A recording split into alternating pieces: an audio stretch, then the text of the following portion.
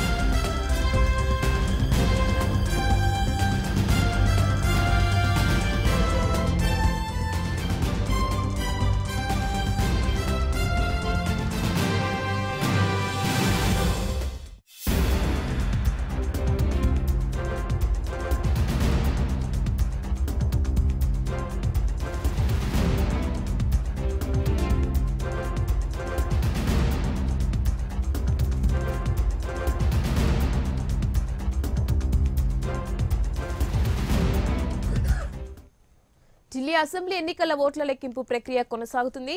ఆమ్ Aadmi party ఢిల్లీలో ప్రబంధన సృష్టిస్తోంది. Delhi assembly ఎన్నికల ఓట్ల లెక్కింపులో స్పష్టమైన మెజారిటీ దిశగా దూసుకెళ్తుంది. మొత్తం డెబ్బై సీట్లున్న ఢిల్లీలో యాభై ఐదు స్థానాల్లో ఆప్ పదమూడు స్థానాల్లో బీజేపీ ఇతరులు ఒక నియోజకవర్గంలో ఆధిక్యంలో కొనసాగుతున్నారు. ఎగ్జిట్ పోల్స్ అంచనాలను నిజం చేస్తూ ఫలితాలు వెలువడుతున్నాయి. న్యూఢిల్లీ నియోజకవర్గంలో ఆ అధినేత కేజ్రీవాల్ ప్రతాప్గంజ్లో ఉప ముఖ్యమంత్రి మనీష్ సిసోడియాలు ముందంజలో కొనసాగుతున్నారు.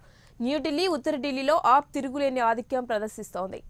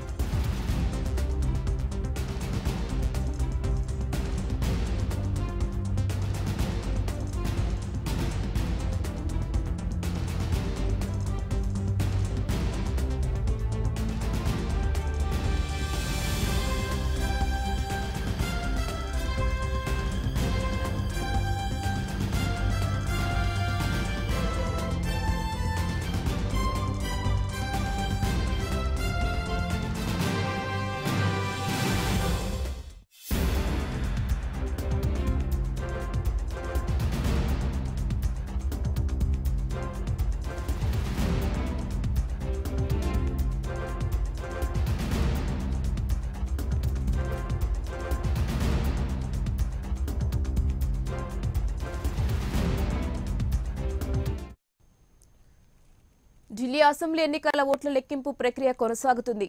ఆప్ పార్టీ ఢిల్లీలో ప్రభంజనం సృష్టిస్తోంది. ఢిల్లీ అసెంబ్లీ ఎన్నికల ఓట్ల లెక్కింపులో స్పష్టమైన మెజారిటీ దిశగా దూసుకెళ్తుంది. మొత్తం డెబ్బై సీట్లున్న ఢిల్లీలో నలభై ఎనిమిది ఆప్ స్థానంలో ఉండగా అలాగే ఇరవై రెండు స్థానాల్లో బీజేపీ ఉంది. ఇతరులు ఒక నియోజకవర్గంలో ఆధిక్యంలో కొనసాగుతున్నారు. ఎగ్జిట్ పోల్స్ అంచనాలను నిజం చేస్తూ ఫలితాలు వెలువడుతున్నాయి. ఇదే విషయానికి సంబంధించి మరింత సమాచారం మా కరెస్పాండెంట్ అస్మిత లైవ్లో అందిస్తారు. అస్మిత చెప్పండి.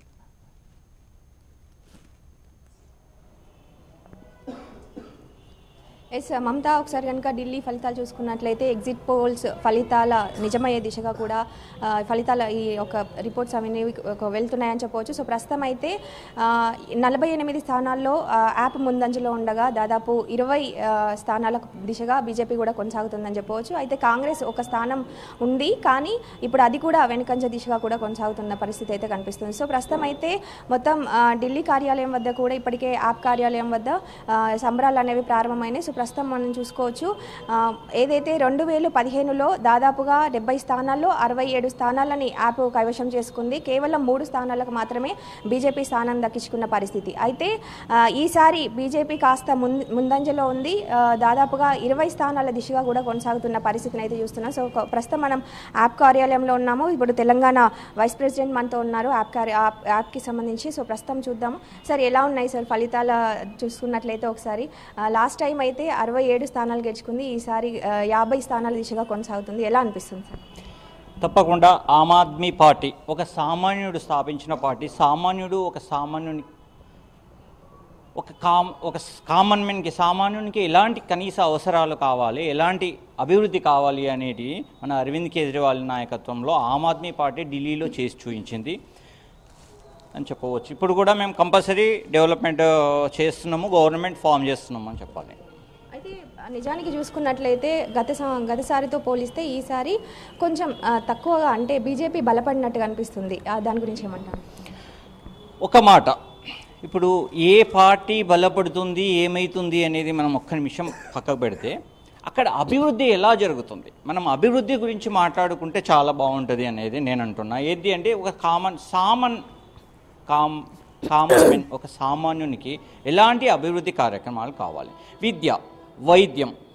అలాగే వివిధ అవసరాలు మంచినీటి వసతి కానీ విద్యుత్ కానీ ప్రతి అవసరం తీరుస్తున్నారు. ఎక్కడన్నా ఏదైనా చిన్న పొరపాటు జరిగినా కూడా దాన్ని మళ్ళీ సరిచేసుకొని ఒక అడుగు వేయడంలో తప్పలేదు ఒక అడుగు వేస్తున్నాము అంటే మేము ఇంకా రెండు అడుగులు ముందుకు వేయడానికి ప్రయత్నం చేస్తున్నాం అనేది మళ్ళీ ఒకసారి ప్రతి ఒక్కరు కూడా గమనించవచ్చు అని చెప్పగలుగుతాను నేను.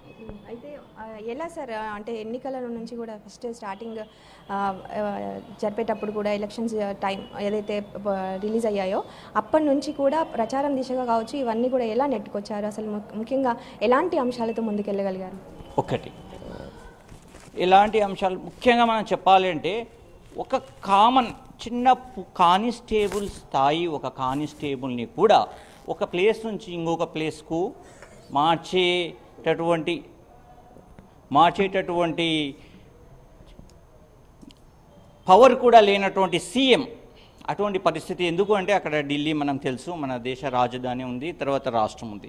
అలాంటి పరిస్థితుల్లో మేము నెట్టుకొచ్చినాము అంటే అక్కడ మెయిన్ ముఖ్యంగా ఇది ప్రజల యొక్క అభివృద్ధి ప్రజలు వేసిన పట్టం ప్రజలకు ముఖ్యంగా మేము ధన్యవాదాలు తెలుపుతున్నాము అలాగే ఆమ్ ఆద్మీ పార్టీ కూడా ప్రజలకు అసలు ఏం కావాలి? దేశంలో ఇంతవరకు ఏ రాష్ట్రంలో చూసినా కూడా ప్రజలకు ఎటువంటి అవసరాలు కావాలి? వాళ్ళు ఏం కోరుకుంటున్నారు అనేది ఇంతవరకు ఏ పార్టీ కూడా సమకూర్చడానికి ప్రయత్నం చేయట్లేదు.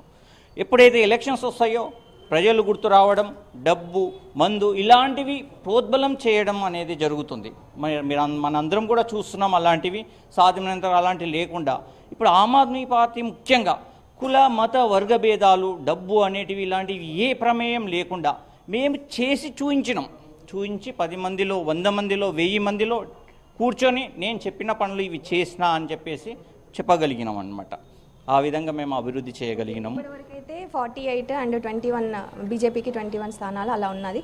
ఎంత మొత్తం ఎంత వస్తుందని ఎక్స్పెక్ట్ చేస్తున్నారు సార్ ఈసారికి కంపల్సరీ మేము అరవై సీట్లు కంపల్సరీ సాధిస్తాము. సాధించి ఆమ్ ఆద్మీ పార్టీ ఢిల్లీలో గవర్నమెంట్ ఫామ్ చేస్తుంది. ముఖ్యంగా మనం విద్యా విషయానికి వస్తే కూడా ఒకసారి ప్రతి దేశం నుంచి కూడా వేరే ఇతర దేశాలు మన ఇండియాలో ఉన్న మన పార్టీలే వాటిని ఏదో సాకు చూయించి కాల్బడి గుంజే ప్రయత్నం చేస్తున్నాయి. ఒకసారి ఆలోచించాలి అవును ఎటువంటి డెవలప్మెంట్ చేసిండ్రు ఏం చేసిండ్రు అసలు ఎంతవరకు ఇది ఒక సామాన్యునికి యూజ్ అవుతుందా లేదా ఏంటి అనేది కూడా చూడాల్సిన అవసరం ఉంది.